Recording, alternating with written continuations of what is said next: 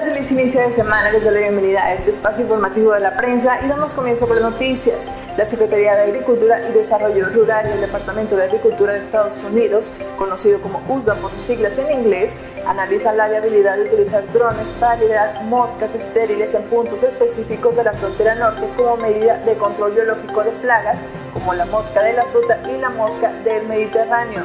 En un encuentro entre funcionarios de ambas dependencias se informó que se han realizado pruebas con este método y los resultados han sido alentadores en la reducción de costos.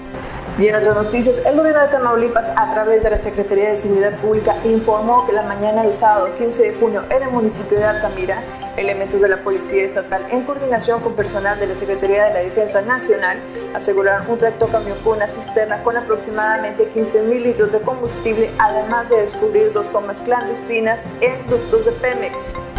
Lo asegurado fue puesto a disposición de la Agencia del Ministerio Público de la Fiscalía General de la República, instancia que se encarga de llevar a cabo las indagatorias correspondientes. Y en noticias nacionales, el presidente Andrés Manuel López Obrador eliminó el órgano desconcentrado de Prospera, uno de los más emblemáticos de los tres sexenios anteriores, y ordenó transferir todos los recursos a uno nuevo en la SEP denominado Coordinación Nacional de Becas para el Bienestar Benito Juárez. Y en más información, esta mañana el volcán Popocatépetl emitió una exhalación que dejó una columna de ceniza de más de 4 kilómetros de altura, según el informe del Centro Nacional de Prevención de Desastres.